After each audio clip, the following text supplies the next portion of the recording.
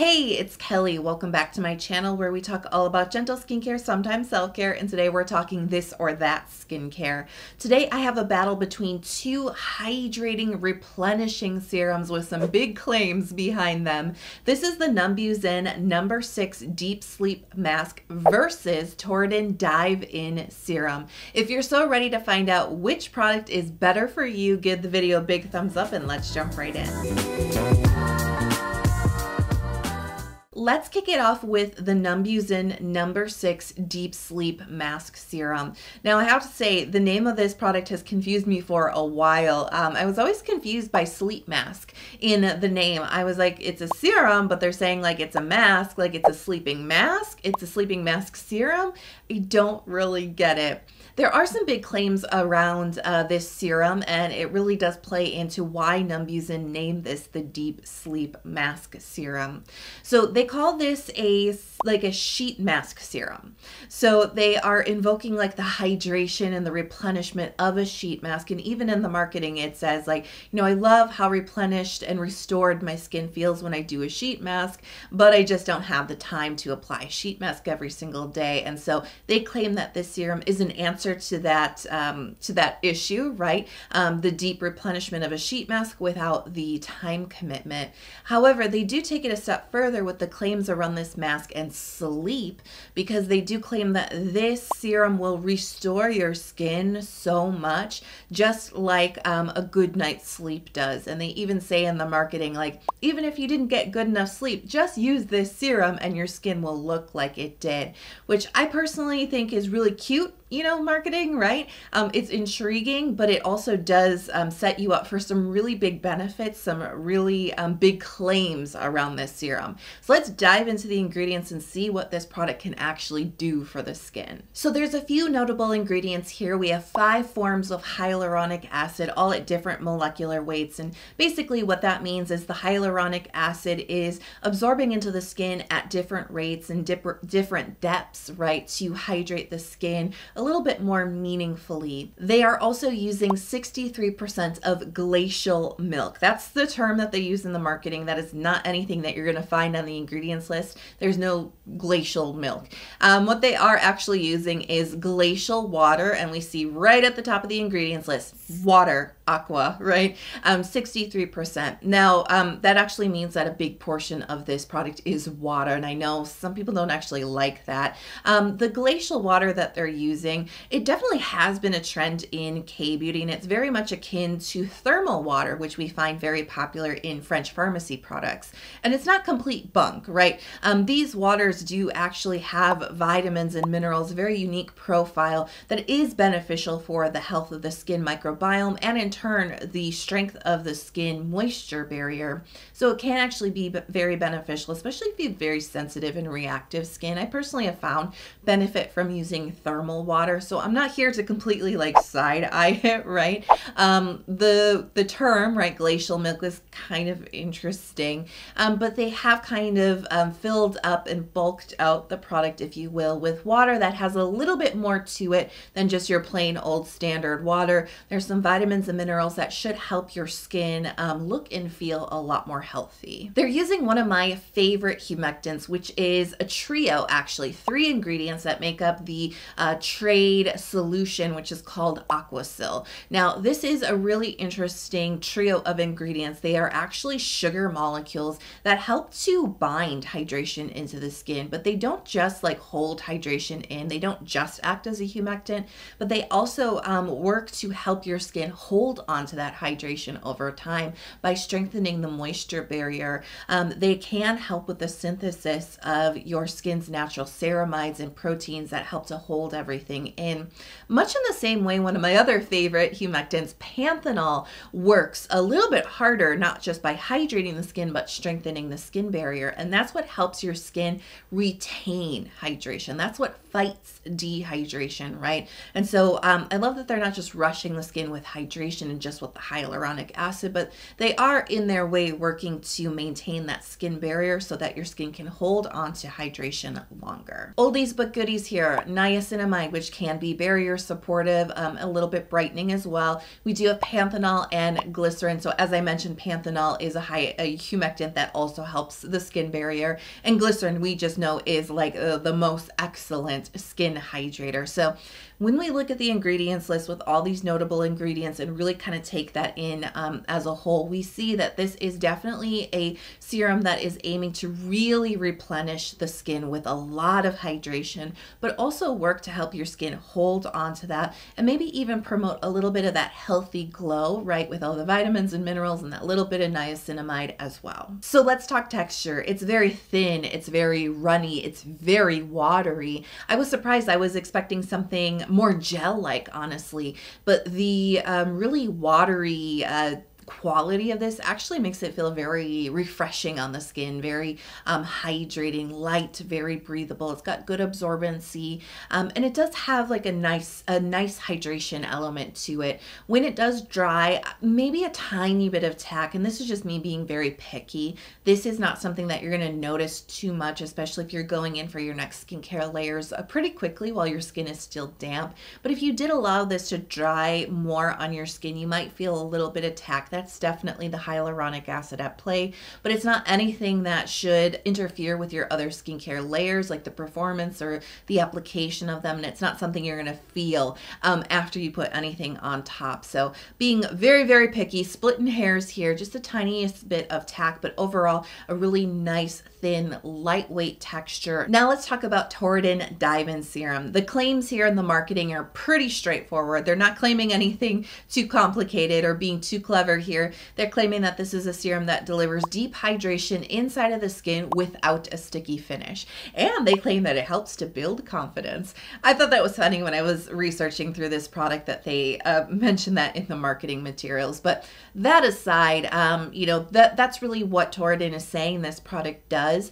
I will add on to that though that this product has been pretty viral, pretty popular for about three years at least at this point now. It is one of the best selling hydrating serums um, in K Beauty. It's definitely been number one at Olive Young quite a bit um, throughout the years. I think its popularity is starting to die down, but whenever something has had that much interest, that much um, conversation around that, that much hype, right? You know, if you've never tried it before and you're going to try it, it does actually build your expectation and anticipation about what the product can do for you. And so, since I'm kind of like talking about the different claims of the products, I thought it was worth mentioning that. Torriden themselves are not really saying, like, hey, this is the very best, you know, number one seller, blah, blah, blah. But that is kind of some baggage, if you will, that comes along with a serum like this. Numbuzin is also a very popular brand. I think this is also worth mentioning before we move into the ingredients. Um, but I don't think that the number six serum is their most popular offering. Um, it doesn't get as much attention, but the brand itself has gotten an insane amount amount of hype. So I think actually both of these come with some of that baggage. And I think it's important for us to to recognize that, to see that, and how it may influence us and our opinions about certain products and expectations, like I said, about the benefits. All right, that was a little bit of a sidebar, um, but I thought it was important to touch on. Let's go back to Torriden. Let's talk about this deep, hydrating, non-sticky, um, you know, claims, and let's jump into the ingredients and see how they're going to deliver on that. So, a pretty similar point of view here to Numbuzin. We are using five different types of hyaluronic acid at different molecular weights Remember, that's going to hydrate the skin at like different levels um, and, and deeper within the skin. Now, they're also using panthenol and beta glucan. Now, as I mentioned, panthenol is a really good humectant. It really floods the skin with hydration, but it actually helps to support the lipids within skin, and that is what is crucial to your skin barrier and holding hydration in place. If you are suffering with dehydration, right, um, it's important to treat that symptom, that dryness, that dehydration dehydration, tightness within the skin, but it's also crucial that you treat the source of the problem, which is often a deficient moisture barrier. So panthenol is actually a really great humectant to go towards, better in my opinion than hyaluronic acid because it does actually cover both of those things in one ingredient.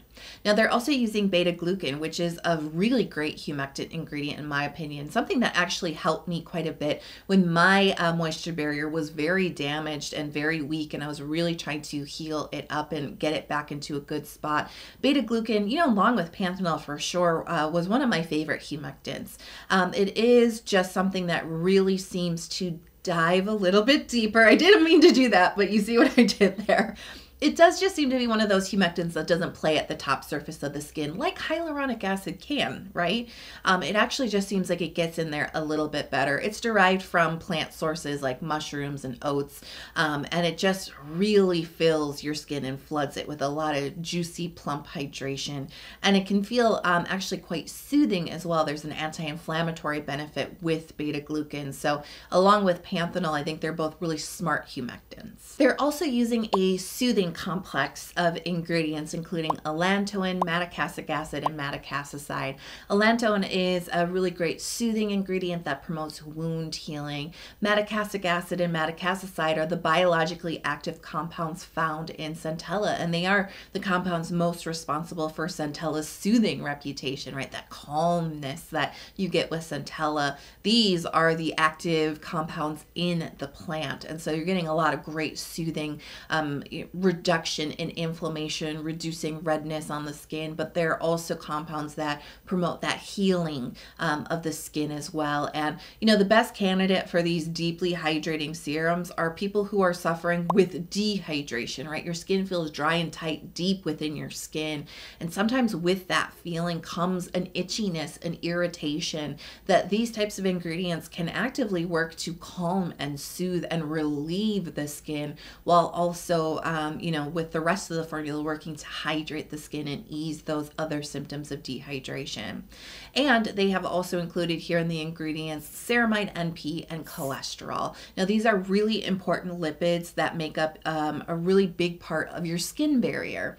And as I've already kind of covered, your skin barrier is what holds hydration in place, and it can be the source when your skin is dehydrated. It means that your moisture barrier is not performing the way it's supposed to. It is deficient, it is weak, it needs lipids. And so um, it's a really nice, smart formula overall, especially um, for those folks who are suffering with dehydration. So the texture is a very loose, runny gel texture. It's not as watery as Numbuzin is. There is a fullness, there is um, a little bit more of a plumpness, a juiciness to this serum, but it actually still feels very light wearing, um, very breathable on the skin. There's no moisture, there's no heaviness to this, um, and I do believe it's still going to be appropriate for all skin types. But as you spread this across your skin, you get a burst of hydration that actually feels like it's getting into uh, the much deeper layers of your skin, and that's where it's bursting into hydration. This isn't something that sits towards the surface, it really dives in deep. I'm trying not to do it, I promise you, um, but there's really not too many other ways to describe that sensation of really getting down to what I say is like the source of the dehydration, deeper into the layers of the skin, bursting into hydration. And what's really interesting is it feels like it locks in place like the hydration gets down in there and it stays in there. It's not an occlusivity. It's not, as I mentioned, it's not a moisture. It's not a balance, but there's just something about it that really allows it to really replenish and relieve the skin with lots of hydration at a more meaningful level. Um, but really quick absorbency, not heavy, very breathable, very refreshing. Much like Numbuzin, you know, if you let this fully dry in your skin, you might feel just a tiny bit of tack, but quite honestly, that's me being very picky about both of these serums and really kind of testing them in an isolated way um, and really picking out every little nuance about the texture on my hands, right? Without, um, in the absence of other skincare. But when I'm actually using this in a routine, I don't pick up on that stickiness at all because really, you know, I'm going in with my layers and letting them dry about 50% and then I'm topping it off with another layer to really take advantage of that moist skin, that damp skin that really accepts an, an absorb skincare even better. And so that in that way, in a in a functional skincare routine, you will never feel the stickiness of either of these products, quite honestly. So this or that. I think it's pretty easy when you kind of just get introduced to these products to think that they're just hyaluronic acid focused, kind of boring, right? Serums. I hope that in our deep dive of ingredients, you recognize, as I mentioned earlier, that there are a little bit more complex, sophisticated formulas of multiple different types of humectants way beyond the hyaluronic acid that can help to hydrate the skin. And I honestly think that both are formulated smartly. I really don't have any issues with any of the ingredients. I mean, with Numbuzin, I think that, like I said, beyond hyaluronic acid, because while I know some people really, really love it and it can be beneficial, I'm not against it, but I do find it kind of boring, quite honestly. Um, beyond the hyaluronic acid, I think they've been really smart, especially with the use of the Aquaxyl. You know, that trio of sugar binding molecules are so incredibly uh, hydrating and can really replenish dehydrated skin. I have used this complex in other skincare products and have been amazed by how uh, well they hydrate the skin. So it's a really smart addition. Um, you know, beyond, like I said, the hyaluronic acid, I really don't have any issues with the ingredients here. They've done a, a good job. It's maybe not the most unique um, formulation out there, um, but I don't think that there's any problems here. Where my problems lie with this particular serum, it's the marketing because let's revisit those claims. This serum has hyaluronic acid, panthenol, glycerin, the Aquaxyl, niacinamide, and they're claiming that this can make your skin look like you slept eight hours when you didn't. They're claiming that this replenishes and restores your skin like a good night's rest. And I'm just not really sure how they are linking those two things up, right? I mean, everybody's going to have a different point of view of what makes their skin look healthy and look refreshed, restored, and rested. And we all struggle with different skin concerns, right? Um, but I can just speak from being in my shoes personally. This does not make my skin look like I rested when I didn't. It just doesn't. It's just hyaluronic acid. It's just humectants. It's just panthenol. Um, it's just not really going to be able to do that type of heavy lifting. I don't think we should ever rely on our skincare to do that that. We need to be getting the sleep and taking care of ourselves. However, there are some ingredients that can give some nice wow types of benefits on the skin when you wake up in the morning. This ain't it.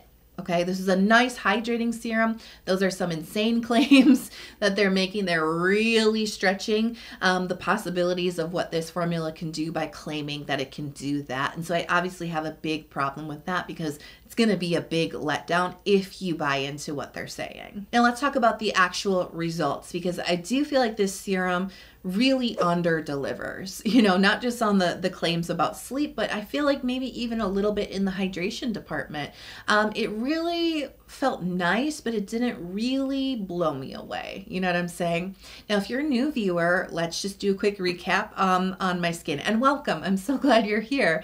Um, I have combination skin. I do lean a little bit more dry, um, but I'm very prone to dehydration. And um, I have a very high bar for what I'm going to call very hydrating. So just know I'm extremely picky, but also know that I'm like the target uh, type of skin type for products like this that claim to, to deliver deep hydration.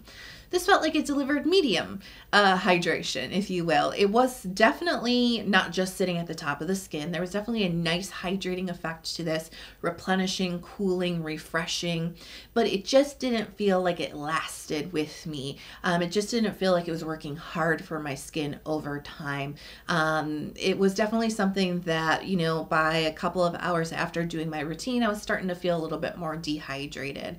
And I have, you know, identified with with my dehydrated skin for very uh, many years. So I know all about, you know, all the different layers and locking it in on occlusives. This definitely was not that. It's just, this can only do so much. And so for me, like I said, I think it delivers on a medium amount of, of hydration, but it was kind of underwhelming. Um, part of it at that I think is due to those big claims that they were making, and part of it is just because the hydration level of this is meh, it's not bad, but you know, it's not like mind blowing either. Now, Torriden actually had a very similar point of view in the formulation to Numbuzin. You know, the five types of hyaluronic acid, the panthenol, the sugar molecules, right? Um, actually, a lot of similarities are shared between these two products.